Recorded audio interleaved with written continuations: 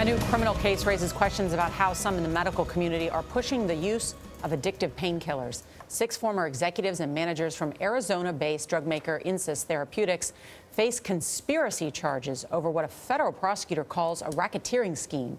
Investigators say they bribed doctors to prescribe the company's pain medication even when it wasn't necessary.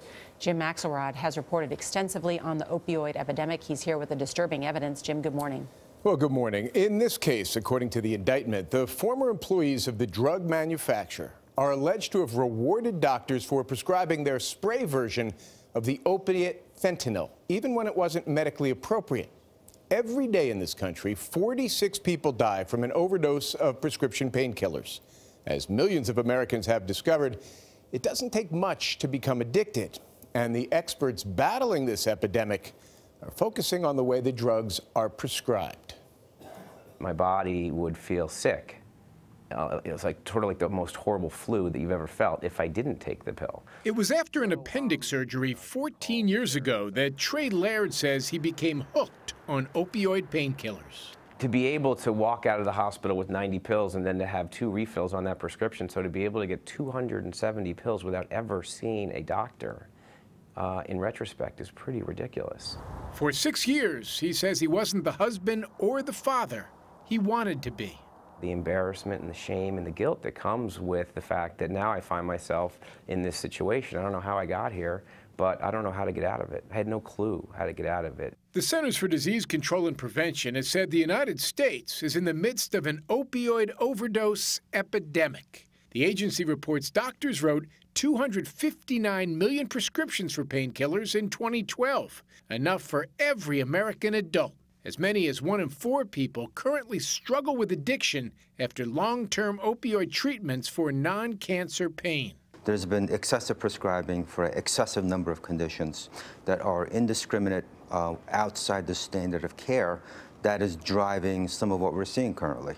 The problem is back in the spotlight after the arrests of a half dozen former executives and managers at Insys Therapeutics, including the company's former CEO. The device that I brought with me today allows the patient to simply, with no priming, spray the drug underneath their tongue. Three years ago on CNBC, Michael Babich demonstrated the company's drug Subsys, a prescription pain reliever for cancer patients, which is delivered through a spray.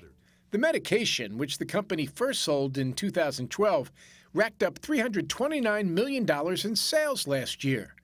According to the indictment, the defendants conspired with one another to use bribes and kickbacks for doctors who wrote large numbers of prescriptions, most often for patients who did not have cancer. The scheme allegedly funneled tens or even hundreds of thousands of dollars to practitioners, including one whom a sales representative boasted in an email was running a very shady pill mill and only accepts cash. Is that the exception or the rule? That is clearly the exception. Um, there is egregious criminal irking behavior out there. But that is the 1% that's given the 99% a bad name. Most of the misprescribing that occurs out there, I believe, is actually well intended and is just done inappropriately due to lack of educational foundation. This issue didn't evolve overnight, and it's not going to be solved overnight.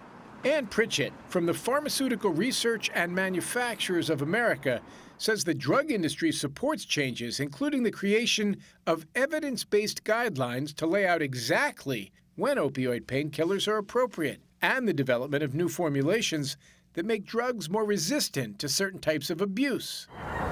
As for Trey Laird, he's been clean since 2011 and now runs a sober living house in Connecticut. He suggests he might have been able to prevent his addiction if only he'd been forced to ask for more painkillers in person. If I needed a refill, I should have to go back to the doctor and say, hey, I'm still feeling the pain. And then have them write a script. But I needed to look somebody in the eye and say, I need pills. The former drug company executives and managers are due in court early next month. The lawyer for the former CEO tells us he plans to plead not guilty to charges, including racketeering and conspiracy. We reached out to the other defendants but did not hear back. Insys Therapeutics released a statement saying it continues to cooperate with all relevant authorities in its ongoing investigations and is committed to complying with laws and regulations that apply. Wow, what a story. Thanks, Jim. especially at this particular moment. Problem doesn't get any better. Mm-hmm. Jim Axelrod, thanks, Jim.